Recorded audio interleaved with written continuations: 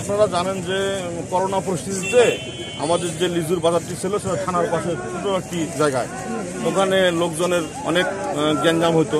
তাই এটাকে আমরা ইয়ে করে, আমরা মিটিং করে, সবার সাথে সংশ্লিষ্ট সকলের সাথে মিটিং করে, বিশেষ করে আমাদের প্রশাসন, পুলিশ, তারপরে ডিডি এগ্রিকালচার যারা ব্যবসায়ী, সবার সাথে মিটিং করে আমরা সিদ্ধান্ত নিলাম যে স্বাস্থ্য বিধি যদি আমরা মেনটেন করতে চাই, তাহলে কিন্তু আমাদের এই বড় মাঠে আনা ছাড়া কোনো উপায় নেই।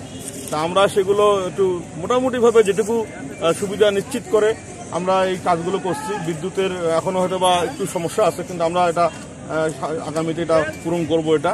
কিন্তু আমার মনে হয় যে আমার, আমাদের ব্যবসায়ীরা, আমাদের আড়তদাররা এবং খুচরা ব্যবসায়ীরা সবাই খুশি।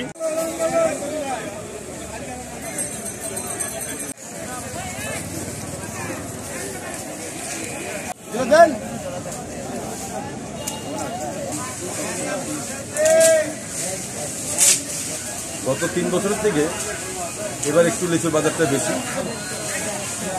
আর বিশেষ করে এই বড় মাঠে আসায় জেলা প্রশাসক মহোদয় ও অন্যান্য আরও কর্মকর্তা যারা আমাদেরকে এখানে নিয়ে নিয়ে আসছে, তাদের প্রতি আমরা কৃতজ্ঞতা বোধ করি। তারা আমাদেরকে একটা খুব একটা সুন্দর পরিবেশে বসার ব্যবস্থা করে দিয়েছে, একটা আড়ত তৈরি করে দিয়েছে।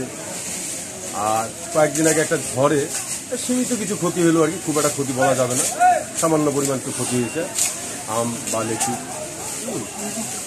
তো এখানে মোটামুটি আমাদের এখানে প্রায় সারা বাংলাদেশ থেকে কম বেশি লোক আসে আর কি, এখানে আসা যাওয়া করে। তবে আমার মনে হচ্ছে যে নারায়ণগঞ্জ থেকে কোনো লোক এখন পর্যন্ত এখানে আসতে পারেনি আমার ঘরেও দু একটা পার্টি ছিল, তারা এখন পর্যন্ত আসতে পারেনি।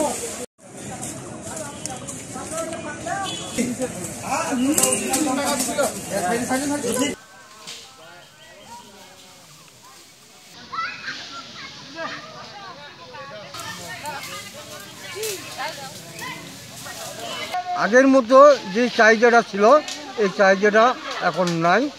এই বছর করোনার কারণে পাইকারপত্র খুব কম গাড়ি ঘোড়া বন্ধ মালের দামও খুব কম মালের পরিমাণও আমাদের খুব কম। বাগানের যে অবস্থা বাগানে অন্যান্য বার যে হারে দাম থাকে যে হারে ফল থাকে এবার দামও তো নাই পার্টি নাই। করোনার কারণে কোনো পার্টি নাই।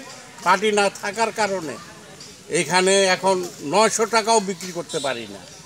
যেখানে আমরা পনেরোশো থেকে দু হাজার টাকা হাজার বিক্রি করতাম এর আগে।